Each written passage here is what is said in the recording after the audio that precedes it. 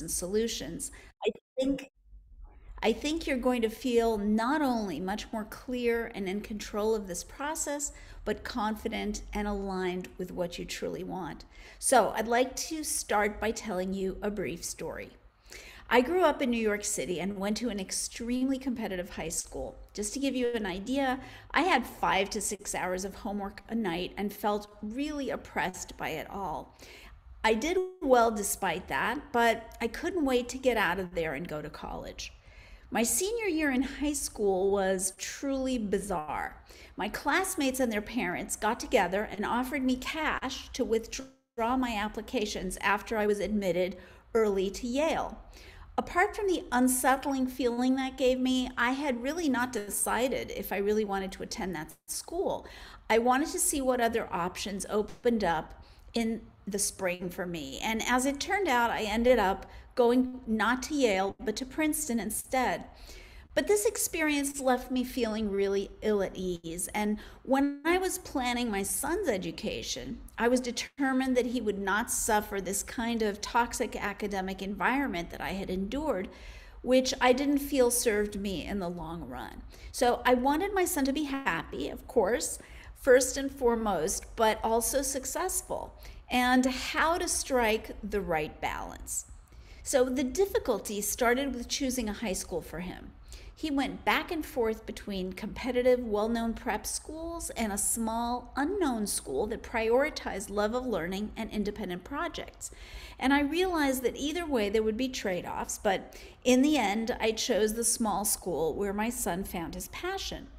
And, you know, given that I'd been an interviewer for many years for Princeton, as well as a teacher who wrote letters of recommendations and gave college essay guidance, you would think it would have been easy for me to guide my son through his college applications, right? Not at all. So I hired a colleague to work with him, and after many months at the end of a surprisingly difficult process, he got into an Ivy League school.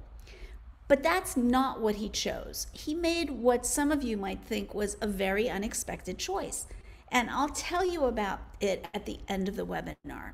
So, what I want you to know is that I have been where you are. Although I knew the system well, when my son applied to college, I had complicated feelings. Like many parents, I, I, was vulnerable to confusion, to frustration, to fear, but I did learn something important. I discovered that my son, like all of you here today, was facing a threefold problem when applying to college. So, number one, the increased competition. Number two, the complexity of the application process. And number three, the rising cost of college. Now, what does this challenge look like in practice? First, let's consider the competitiveness of the college application process. If you were a Texas student in the 90s and graduated in the top 10% of 20% of your graduating class, you were automatically admitted to the University of Texas at Austin. Today, you'll need to graduate in the top 6% of your class. If you were applying to Yale in the 90s, you had an 18% chance of admission. Now it's under 5%. And 70% of USC applicants were admitted in the 90s, but in 2022 it's now under 12%. And maybe some of you read a recent Wall Street Journal article about a young woman with an SAT score of 1550, a GPA of 3.95, phenomenal extracurricular and leadership positions, who applied to top tier schools and, and was not admitted to any of them. So there's no doubt that college admissions today is super competitive. Now let's look at the complexity of the application process. So 20 years ago, you might have applied to one or two colleges and the process was clear, simple, and straightforward. Now, because of all the many moving parts of the application, students are applying to as many as 8 to 15 schools for my students. So there's a lot to stay on top of. And to give you a glimpse into the complexity, take a look at all the elements that need to be in place for students to have optimal merit scholarship and admission results. Recently, a friend of mine was telling me about the ordeal of helping his son apply to college last fall. The numbers of different essays for each college, the completely different online applications to fill in, SAT prep, different deadlines, recommendations for honors programs, and on and on. This was a ton of work and created months of tension with his son. So clearly, this complexity needs to be simplified.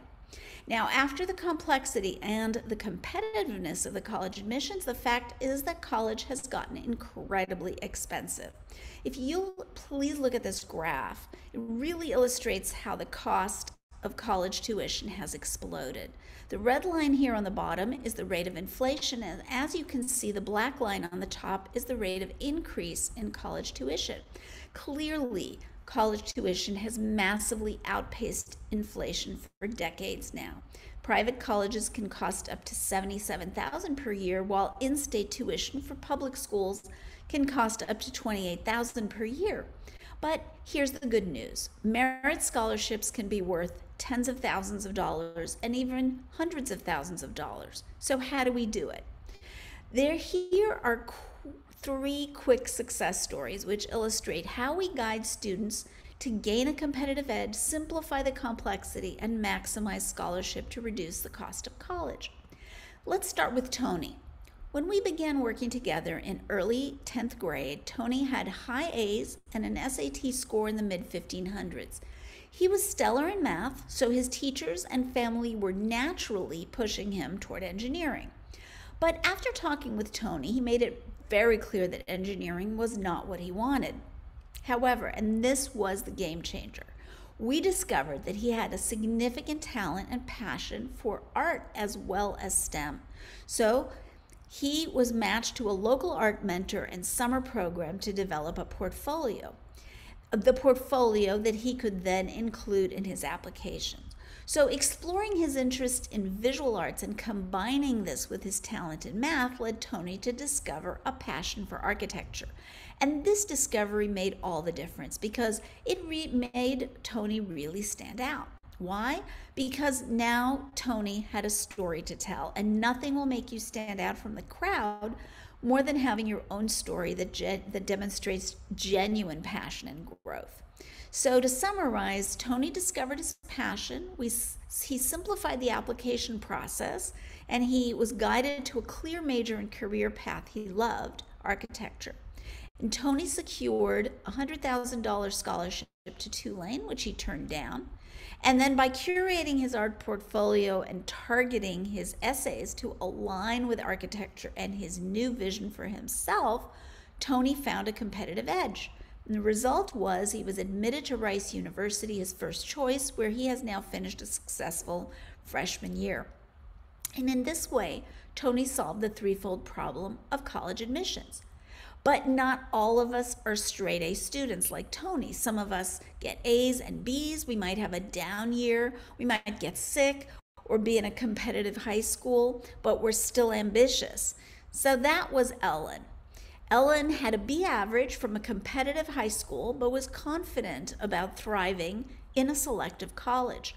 We discovered that her GPA had significantly improved over the three years of high school through her hard work. When she got B's, it motivated her to get tutoring and find a college professor as a mentor, and she kept signing up for really challenging classes. She also rose to a leadership position in yearbook and got a summer internship in a startup incubator to explore a major in business. But how was she going to pull all these threads together to showcase her accomplishments? Ellen worked to tell her story in a compelling way as a journey of growth and responsibility.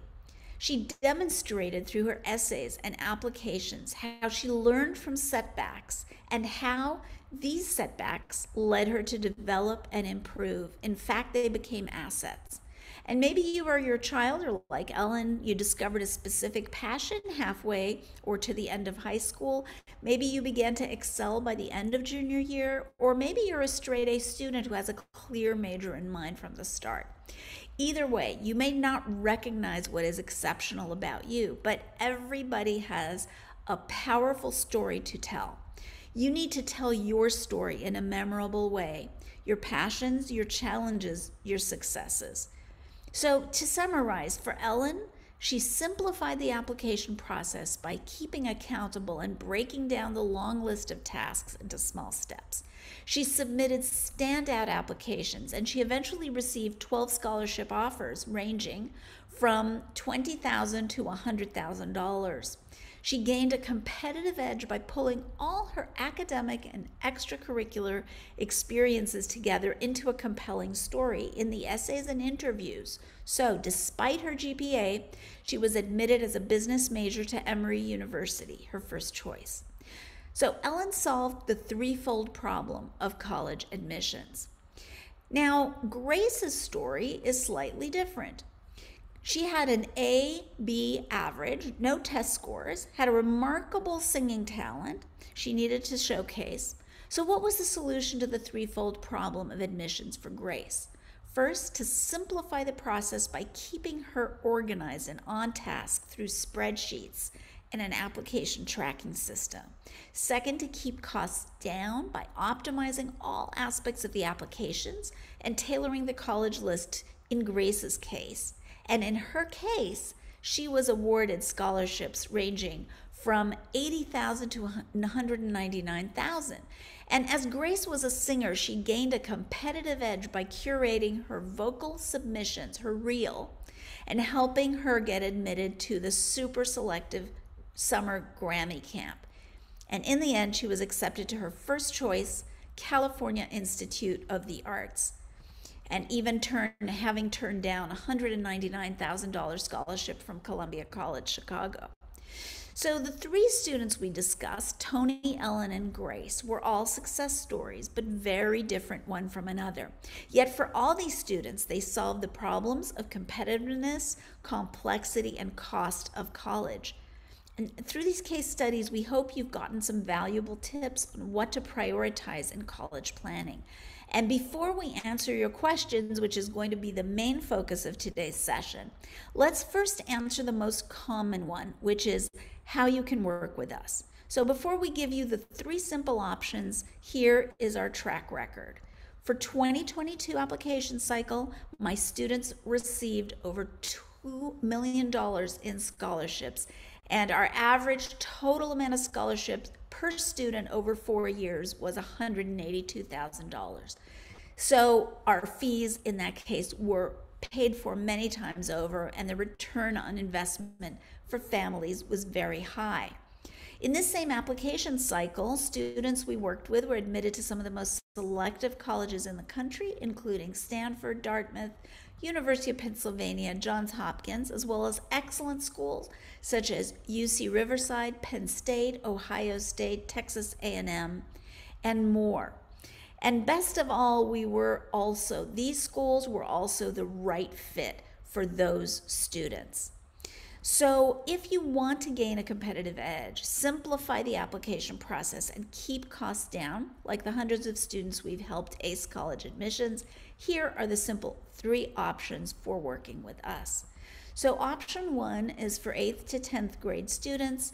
It's early talent development, and we have, in that case, time to identify the uh, students' talents, discover their passions, and make sure they're really on track. And this option also maximizes admissions and scholarships results when they apply to college. We help optimize their GPA, test scores, extracurriculars, and summer planning. And packages start at 1997. Option two is for 11th to 12th grade students. Our two year A list package will give you a competitive edge, simplify the complex application process, will help optimize essays, SAT prep and testing, and as well as applications and summer planning, including demonstrated interest score for each college. This package costs 19,997 with the ability to provide some level of customization depending on your situation. Now, option three uh, is more affordable. It's also a two year college advisor package. This um, is the same as the A list package, but instead of working with me, you work with one of uh, the advisors that we have hand picked and trained. and the cost for this is $79.97. So, if you're serious about working with us, please sign up for our free discovery session and bring your questions. And students, please have both parents with you, so sign up for when they are available. Parents, please bring your spouse. And Karen, our wonderful moderator, will drop the sign up link in the chat now. And um, in this session, again, this session is designed to explore our packages and answer your questions. Students, please bring your parents, so sign up for when they can attend. Parents, please bring your spouse. So, before I answer your questions, I do want to finish the story about my son. So, basically, uh, at the end of his application process, uh, he did, in fact, get into an Ivy League uh, school, but that is not what he chose. Instead, after a lot of research, investigation, deep reflection, and a visit to campus, my son chose an amazing school, Carleton College in Minnesota, which you may not have heard of, but turns out employers, graduate schools, and prestigious fellowship boards know very well. It was by far a better choice for him than the Ivy. At Carleton, my son got more attention, classes were more targeted, his professors advocated for him. He stood out, and after his freshman year, he was awarded the Orion Mission internship at NASA and a second Orion Mission internship at NASA the following summer. Today, he's in graduate school at an Ivy League college and tells me that in retrospect, although some disagreed with his college choice, this was absolutely the right decision for him. And best of all, for me as a mom, he's happy and thriving. So, parents and students, this is a really important message I have for you. You may be anxious right now, but I can assure you that there are many roads to success. Please remember that college is not a destination. The college application process can help you begin to discover a sense of purpose, a great first step in designing a life of meaning and financial stability. And that's what I wish for all of you. So, I am going to be very happy to answer your questions now. Uh, I will ask um, our great moderators to paste the link in the chat again. Uh, if you're serious about working with us, students, please sign up, bring your parents, and parents, please bring your spouse. So um, I do want to uh, share my screen again. And uh, I am happy now to answer questions. I'm looking forward to seeing what you what you all are are uh, are uh, thinking about right now. So, um, to go to veterinary school, you can't go directly. Um, well, in the US, before veterinary school, before medical school, there are pre vet, pre med uh, course sequences that need to be taken. So there's certain requirements that the colleges want to see. Now, there are some direct admit programs, uh, for example, for medical school, where you get a bachelor's and then you get guaranteed admission to medical school if you have a certain average. Those uh, programs tend to be incredibly, uh, incredibly competitive. And um, generally speaking, to apply, it's a good idea to think about it early. It's really for people who have known for a really long time that they want to go on these medical paths. And then you would uh, design your high school experience really to be in a great position to be able to apply directly. Um, for the person with a 3.4 GPA, it is a is it a four, five, or six point scale? So the examples were on a four point scale, I believe. Uh, when we receive an acceptance letter uh, from college, how much time do we have to respond? It's a good question. So, generally speaking, uh, you have until May 1st, May 1st of your senior year to respond. Uh, generally, colleges will set that date as the last day you have to tell them whether you want to be admitted. Um, now, uh, you want to enroll. Uh, now, you may get your admission results very early. You may get, depending if it's rolling admissions or if it's an early decision school or an early action school. Uh, I've had students uh, who submitted their applications toward the end of August who've already received uh, uh letters of acceptance from schools that have rolling admissions. So it really depends, like what the time lag, it depends when you submit those applications, then you'll know, you know, kind of how much time. Sometimes for this uh, extremely selective schools, even if you submitted uh, this month to your uh, college, you'd still have to wait probably till April, March or April to find out. Um, okay, so what fraction of our students in this most recent cycle received less than $10,000 in scholarships? Nobody, because our scholarships ranged from 12,000 all the way to full rides of 276,000. Um, do you just help for scholarships because we already have a counselor? No. Uh, we help with strategic planning for um, better admission results as well. And also to help students really uh, decide what kind of majors are right for them, what kind of careers are right for them. Some students know super early in the process, and other students really don't. And there are many very um, useful and win win ways of figuring that out. And some of them are interest and uh, strengths assessments but others are participating in internships. Uh, if we have enough time and we're working with students early in high school, uh, we can help them apply to internships, to research programs, um, to design a personal project. There's so many ways for students to find out, you know, what direction to go in. Um, and so it, all of those can be, it depends when we can get started, when you, and when you are starting on that process. So um, I've read articles stating the importance of test scores uh, dropping and by 2024 will not be as important to most universities due to missing out on many students, etc., that might, might not be great test takers. Yes, so that's been the trend, right? Um, the University of California system, UCLA, UC San Diego, UC Santa Barbara, Berkeley, etc. They don't even look at test scores anymore. However, however, the vast majority of colleges still look at test scores. So what we recommend to students and whether you are in early high school, whether you are in 11th grade, um, what we recommend is for you to be very wise about this. Uh, try to maximize your test score.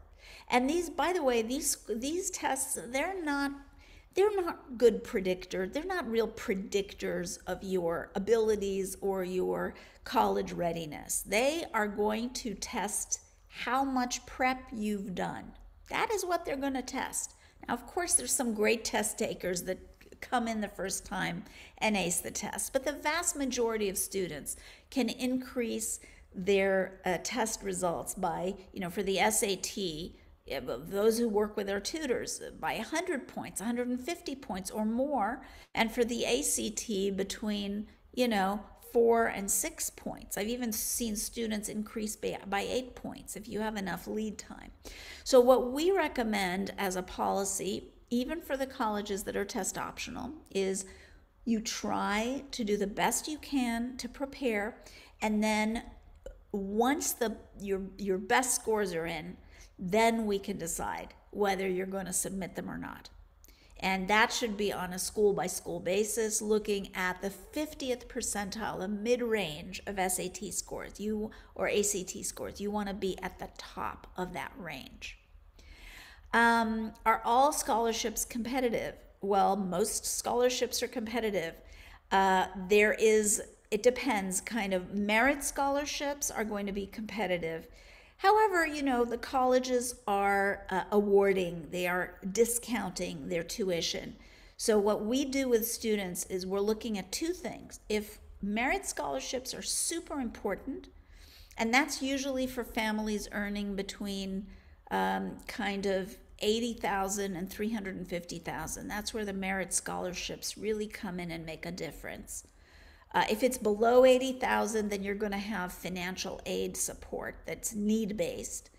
Uh, but between those 80 and 350,000, uh, there is there are going to be some schools that are more likely to award merit aid. So when we're working with students, we do two things. We identify the schools that are more likely to offer the merit aid, and we maximize the student's profile so that uh, their profile is the most attractive it can be to the colleges.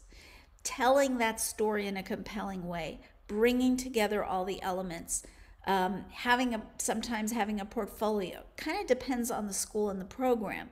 But what we want is to do those two things. If we're just looking at one side of the equation, we're not kind of throwing everything we've got at uh, the uh, issue of cost. We want to bring that cost down through as many different uh, ways as possible.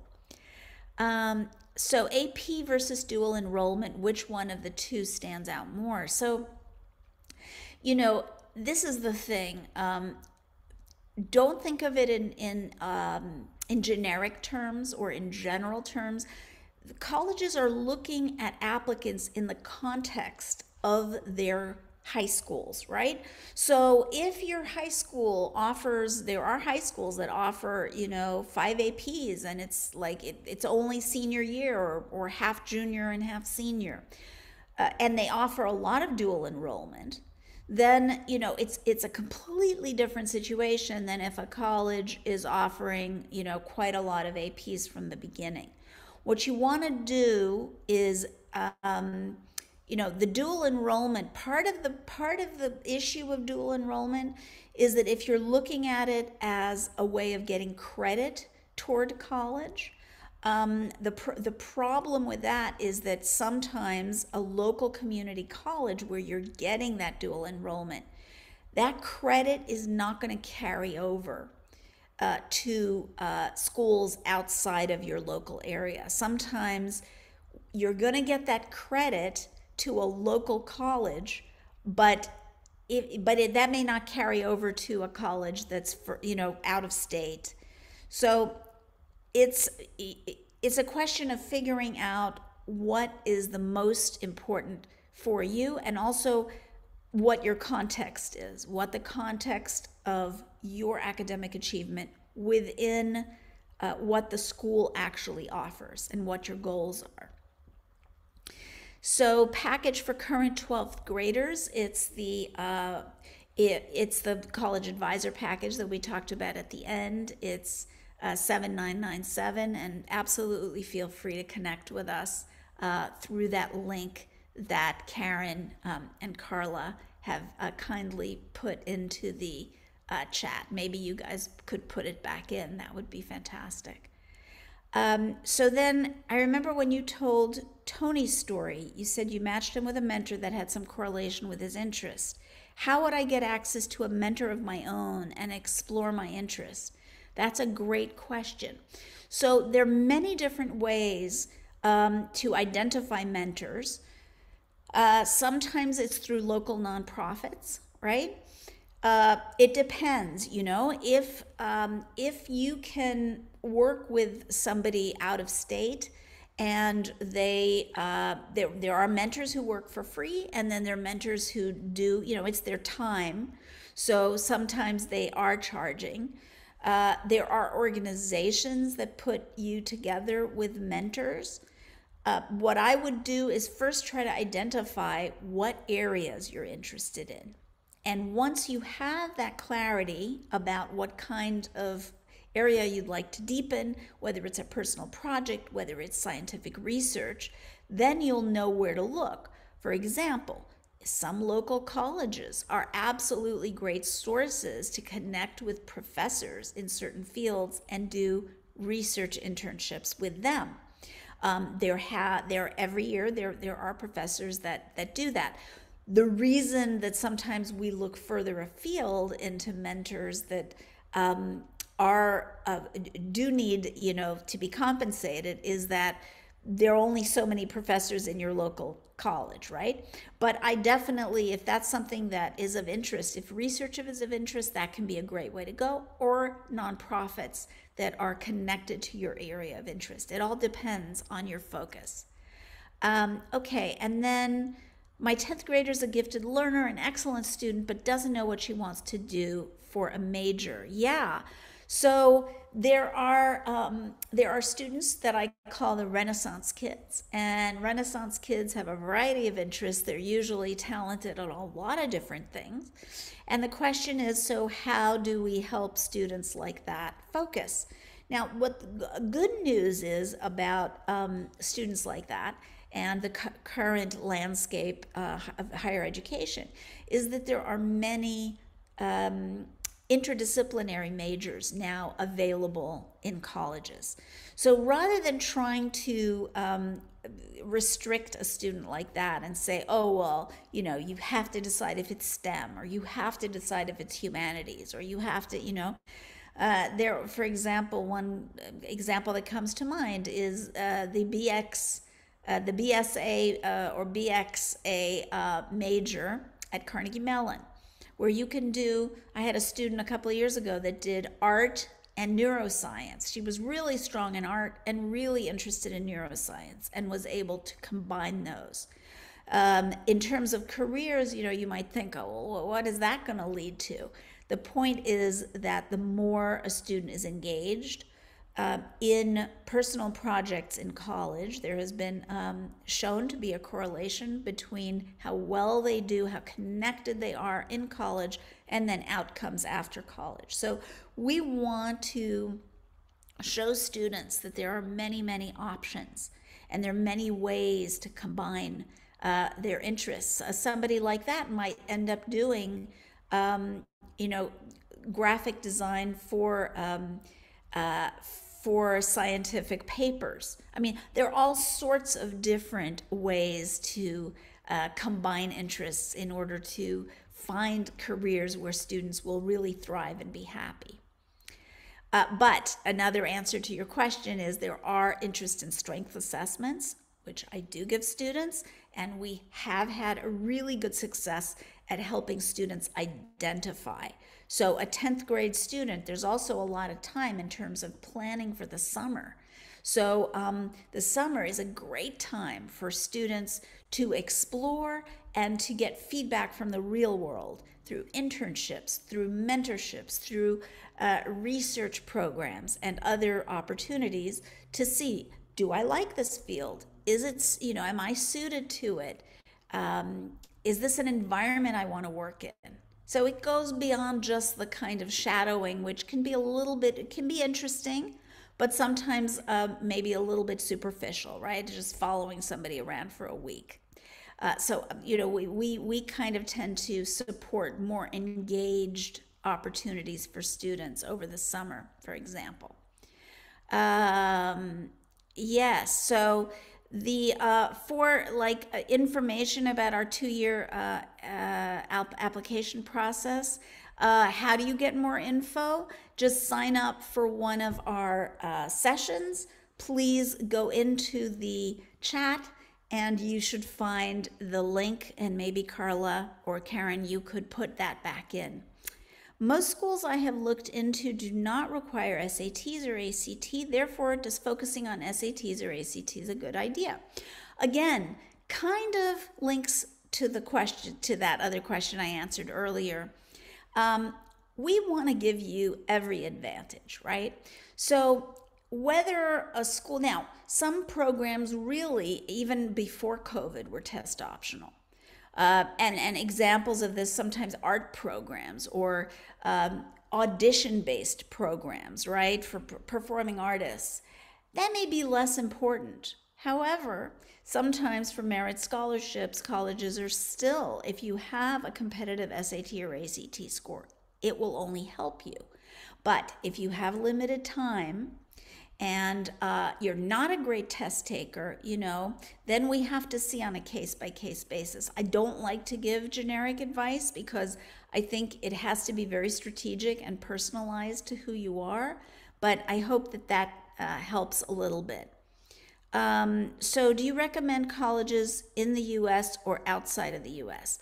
Well, it's interesting. Right now, we've got um, a trend. There are a lot of Americans who are studying abroad and get, getting their bachelor's abroad.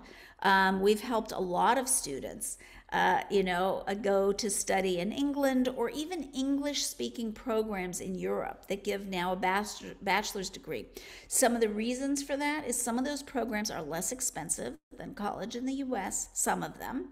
And um, also, there are other reasons, of course, like um, getting a lot out of being in a in a situation abroad. So there there there there are benefits that go beyond the cost. Uh, pre-dental, yeah, this is uh, this is the kind of thing that you know. There are going to be lists. You know, you can find lists uh, of the best programs for X, Y, and Z. You can look at um, U.S. News and World Report rankings. There are pros and cons to that. Uh, the U.S. News and World Report rankings uh, some schools are very question the validity of some of those rankings. So it depends. The more more important than what the best school is is what is the best school for you. So the more you can pinpoint what kind of environment is it that will be most supportive of me that where I will thrive, where I will do well, where I will be actively involved in the college community rather than focusing on what the best program is. Now, luckily in this country, we've got, uh, we're so fortunate, we've got many, many, uh, you know, hundreds, if not thousands of, of excellent programs. So that's how I would, uh, I would, I would go about it. Yes, we do have a, a package for essays for current seniors. So, absolutely, if that's something that you're interested in, uh, book a meeting with us and we can explore those. Um, tips for starting your essays. Okay, so the essays are a wonderful place to tell your story. That's what they're all about. So, um, what you need to do really for essays is um, try not to guess what colleges want, but focus on what do I want them to know about me? What is it in my application that has not been included in my transcript, in my list of activities, in my test scores that I want them to know about me? What is my story? And how can I tell that in the most compelling way possible? So I think if you start from that, now sometimes a prompt will also be very exciting. You know, you'll say, Oh, I really want to write about this one prompt. That's great. Some students get very inspired by the prompts. But if not, then focus on telling your story and what, um, what characteristics about you, with examples, of course, uh, to illustrate uh, in your life times where you have demonstrated those qualities, qualities that you will be able to contribute to the college community. So, um, Yes, taking AP classes help my odds. Well, this is the thing. It's not AP per se, it's more rigor, the rigor of the curriculum. Colleges want to know if students have challenged themselves. Um, you know, uh, getting, uh, you know, kind of breezing through high school because you haven't challenged yourself um, that that record is not going to be evaluated in the same way as a student who has taken more challenging classes. Like the example I gave of Ellen, even though she had you know quite a lot of B's and she um, went to the super competitive high school, she still challenged herself. She kept you know she kept she took organic chemistry for example one year even though it was really hard for her but she really was interested in the class and um, she she she got um, mentor and support to help her do as well as she could. So I wouldn't focus like on APs per se. Um, now, I know that the AP system for some schools is such that when a student takes APs, it bumps up their GPA. That's the reality, right? So we've got to be strategic, okay? Be strategic, be smart, but always put your well being first your well being, because what we don't want is burned out students who get to college and drop out the first semester, no matter how great the college is, no matter what their GPA has been in high school. I've seen this happen. So we want to balance, we want to be sure that, uh, you know, the most important thing because when you have that well being, when you have that solid foundation of health, then everything is possible. Otherwise, it becomes very, very difficult. Can you get into a good college with an SAT score uh, of 1150? Again, those SAT scores are not, there's no kind of, yes, a perfect score is a great score, but um, it depends on which colleges you're applying to. So you want to look at the 50th percentile or the mid range of the colleges you're interested in. If you uh, are at the top of that 50th percentile for that school, then you submit the scores. If not, then I would not submit the scores. Um, okay, a bad, what do you recommend for a student who's had a bad junior year and saw their GPA drop? Yeah, well, what's good about that is what you need to do is, um, first of all, you'll have a chance to explain to the colleges what happened. There's an additional information section on the on the uh, Common App. There are other places for you to be able to do that.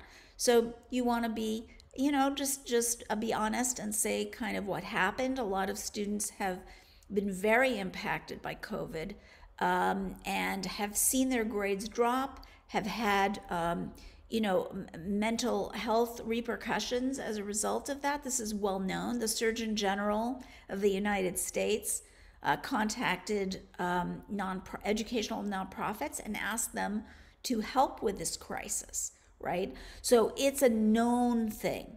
So don't worry, you know, say say tell your story. This is part of your story. But then, you know, what you want to do is try to show, certainly in the senior year, that you um, have been able to turn the situation around as much as possible. Uh, sometimes, if the record is really affected, uh, it might make sense to take a gap year because then you'd apply with all of your 12th grade grades. So there are many ways of, uh, of, of, of doing that. Um, okay. So then I'm a current junior. When should I apply for college and university? So the actual submission of the applications will happen beginning in the month of August between your junior and senior year.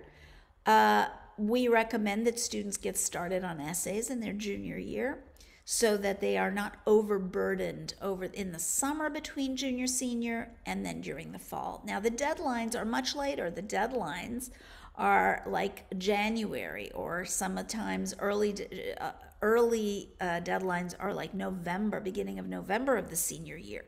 So there are students who wait and do all the work their senior year, but it's tough. It's tough for them to do that. So if you are a junior, then um, I would say get started, get your college list together, and um, all of that uh, earlier than later. And, you know, if you work with us, we have a process we take students through uh, that's really step by step to minimize the complexity and the and the um, to increase uh, scholarships and chances of admission. Okay. Uh, as a sophomore, what should you do in order to maximize your chances of getting scholarships and admitted to colleges? Yes. So, there are many things you can do, right? Um, at the top of the list for colleges is always rigor of the curriculum. Have you challenged yourself?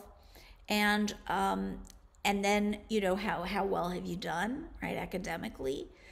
But really to tell that story which is the heart of the process for um, competitive applicants right that's how you make an impact. That's how you make a, uh, have an effect on your um, on on the attractiveness of your applications. So what can you do? Well you can do a lot of things. Uh, let's start with extracurriculars What's important is depth, not breadth, right? It's better to do a few things as deeply as you can than to do 10 different things.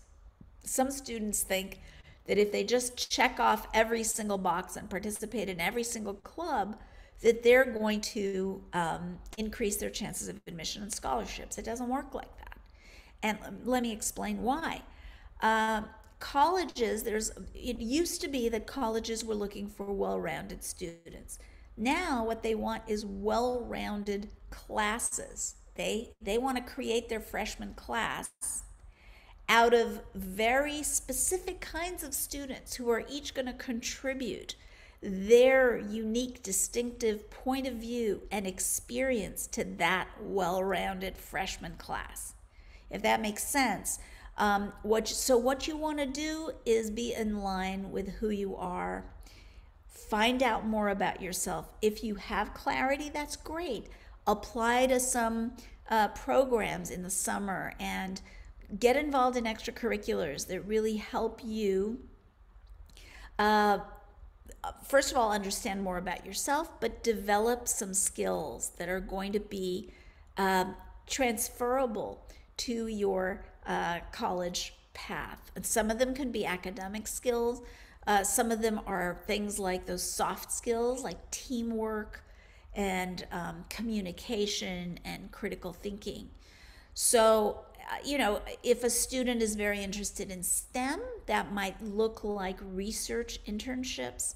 Um, if a student is, uh, you know, kind of more of a Renaissance uh, kid, like I mentioned earlier, uh, there might be a variety of different things. It might be study, it might be a personal project that has uh, impact.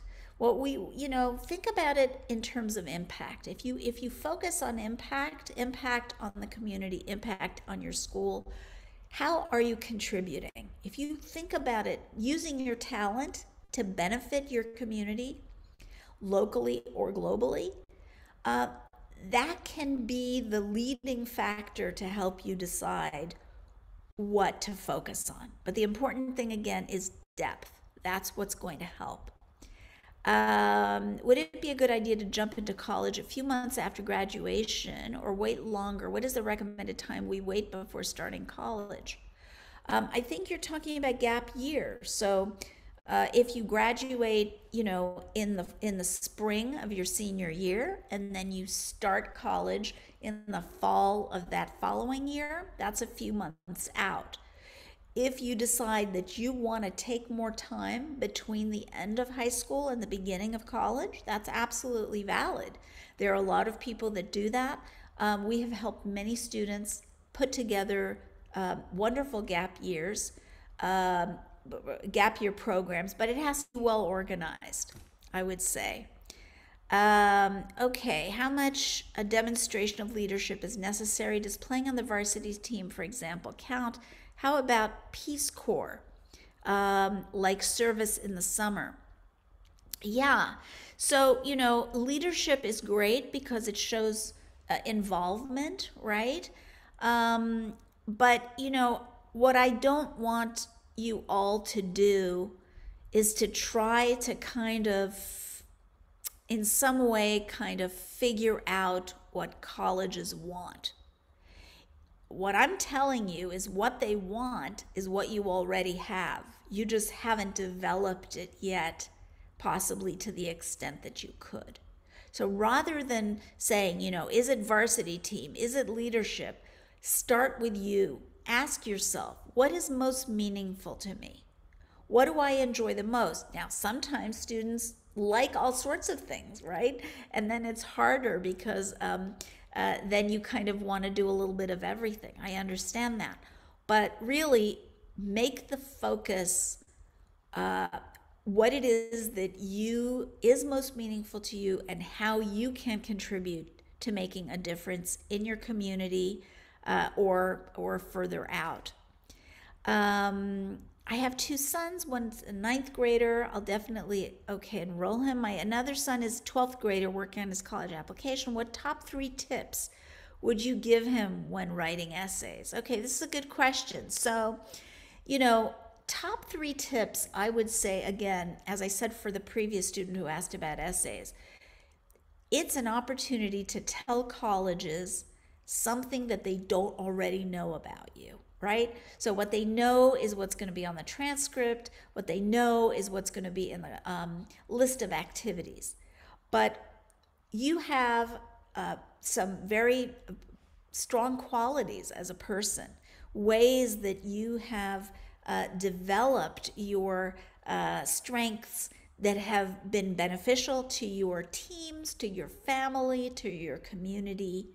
Um, and I'm not just talking about teamwork, right? Sometimes it's a leadership position, sometimes it's a mentorship, but there are different ways that students can express that uh, when they're writing a college essay. And it's it's just really important to tell those stories to be super specific. So i would say top three tips um, focus on what's really meaningful. Use a lot of specific examples right we want every statement to be backed up by an example. Statement example. You say you you you write an idea show us right? Show us don't tell us. That would be my third uh, one. And and then uh, maybe last i would say let that essay sit and then go back to it right? Don't submit the even if you feel like you have a, a final draft let it sit and work on it a little bit uh, so that it really uh, you you you have that sense you know this is the best that i this is the best that i'm capable of. You want that feeling of accomplishment when you submit those applications. Okay so i'm in my junior year. I just transferred to a private school struggling a bit but i feel i can do better soon. How would you suggest i boost my portfolio? Okay so i think it's important to start with you right? Uh, you you're you've just transferred to another school. It's really important for us not to kind of you know that transition is already a lot right? Transferring to a new school requires a lot of energy a lot of adaptation. So i would say you know it's always about what can i do for my community? There's a very famous speech kennedy speech about you know what can what can I do for my country, right? So it's uh, that's what what you need to be thinking when you come into a new community like that because if you're thinking in those terms you know um, being there being the person that volunteers if the teacher needs something or uh, seeing there's a need uh, you know it also helps us get through those difficult transitions and difficult times when we try to see how we can be of service and that shifts the conversation away from you know that narrow tunnel vision of checking off all those boxes for college admission and putting the shift back the focus back on you know well-being. And well-being starts with um, being uh, available uh, it's not only to to others but but to yourself. And so you know, I think that uh, you may be asking a lot of yourself. Um, once you've done that, that portfolio is going to tell itself, right? See what what is needed around you and how you can be a friend and how you can be a support to your school community, and that will help you also transition into that school community. Um, if the college is offering early admission and commitment for early admission, do we have to commit? What if we get a better offer? Yeah. So if it's early decision, uh, it is binding. Um, you know, if a school finds out that you've applied early decision to a few places, and people have done that, uh, sometimes uh, if they find out, they will they will uh, deny admission across the board. You don't want to be in that position, right? So if it's early decision, it's binding. And so if you're applying early decision, it means it's your top choice school. And it also means that whatever um, merit scholarship or other scholarship they offer you, you're not going to have too much wiggle room in terms of negotiation, but it might boost your chances of admission. In some schools, uh, applying early decision boosts your chances significantly. So there are a lot of questions, you know, to, to, to, to look at with that. Do you assist with overseas school like Oxford and Cambridge? Absolutely. We have a specialist on our team who's British and who has helped many students apply to the UK.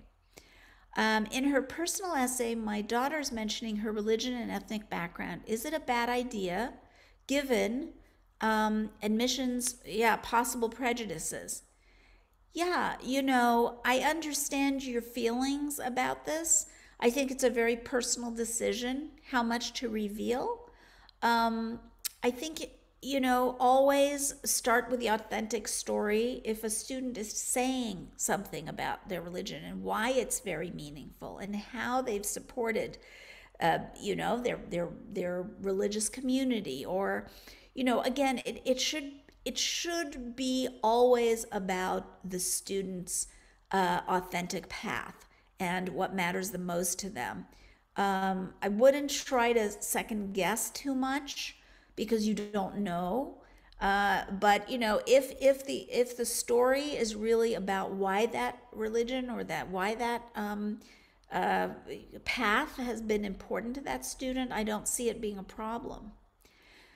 Um, what if I'm doing early action, but I'm taking the SAT after the application date? Yeah. So that you should check with the colleges. Generally, they want the SAT of the month like for November 1st, it's usually October is the last one they'll accept.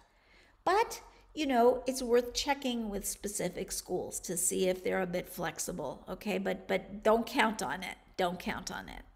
What are good scores? No such thing as good scores. It's relative to the 50th percentile of the colleges you are applying to. Of course, a perfect score is a good score, right? But most of us are not getting that. So we're, we're looking at that 50th percentile. Um, okay, above 350K, then that's usually, unless, you know, there are a lot of children in the household, uh, generally, you know, that's going to be um, less kind of um, applicable for merit scholarships, although uh, you know it's not it's not a black and white question. So if you're you know um, if you need more on that you can always contact me. Um, yeah so with an interest in a medical career is it better to apply as a chemistry or biology undergrad? Uh, large small universities best best for progression to medical school when should submissions be made to colleges if a student is a junior Yes, so that's a lot of questions, but um, and we're kind of toward the end. But um, the medical career, uh, um, when you apply to medical school, you don't have to have majored in a science. You have to have uh, taken the pre med requirements. A lot of uh, students applying to medical school have majored in a science. So rather, again, than trying to second guess what is going to be better for medical school, it should be what is most aligned with my interests, right? What is most likely to be the most fascinating thing for me, the most exciting major for me? And then you'll get pre med guidance to know what those requirements are for medical school. And large or small, that's not going to matter. What's going to matter is how well you do in college. So it's better to be um, do very very well at a smaller school. Uh, you know, with ha- having really great grades and great MCAT scores and applying to medical school with great examples of, you know, research and um, volunteering rather than just saying it's got to be a bigger school. Uh, and then when should submissions be made to colleges if a student is a junior? Uh, we try to help students uh, submit kind of toward the end of the summer between junior and senior year, beginning of very beginning of the fall. Uh, some of the colleges are on rolling admissions, so earlier can be better in the sense that for rolling admissions, they are uh, allocating spaces in the freshman class and merit scholarships on a first come, first serve basis. Okay, so um, we're kind of at time. Uh, I, I see that we have a lot of a lot of questions. So um, I would be, you know, delighted to uh, connect with you offline. Uh, some of you um, are going to sign up or have signed up uh, because you're very interested in working with us.